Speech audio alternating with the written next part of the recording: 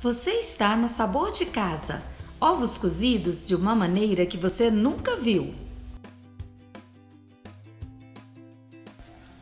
E eu começo cortando uma cebola em quadradinhos. Se você gosta de receita fácil e diferente, já clica aí no botão curtir e comente aí nos comentários. Eu amo receita fácil.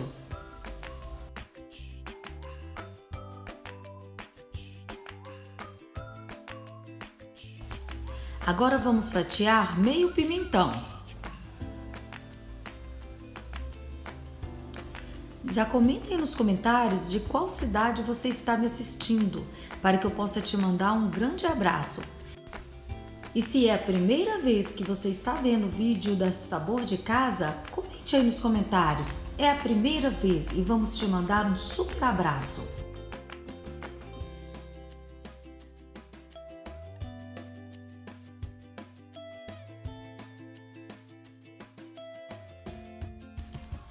Na panela eu vou colocar aqui um fio de azeite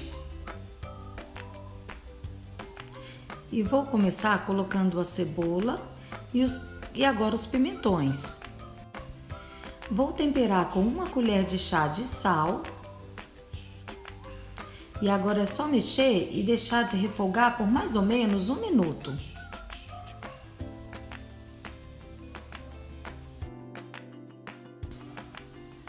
Agora, pessoal, nós vamos colocar rodelas de tomate e vamos tampar para o tomate refogar por mais ou menos um minuto também. E olhem, aqui eu já coloquei as rodelas do tomate. Agora eu vou virar o tomate para o outro lado. Lembrando que se você se ficar muito seco, vocês podem colocar uma colher de sopa de manteiga para que o tomate possa cozinhar. E agora é só colocar os ovos para baixo, dessa forma. Vamos colocar um pouco de páprica doce. Se você quiser, pode colocar pimenta do reino também.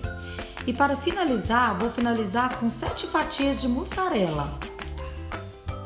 E agora é só tampar e deixar o queijo derreter. Ah, vou colocar um pouco de orégano também.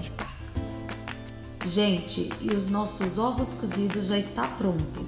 Olha que delícia de receita! Agora é só você se deliciar.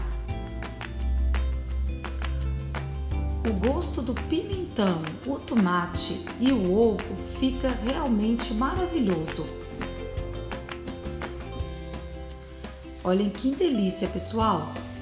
Uma receita simples, barata e que encanta qualquer pessoa. Eu espero demais que vocês tenham gostado da receita de hoje. Fiquem com Deus!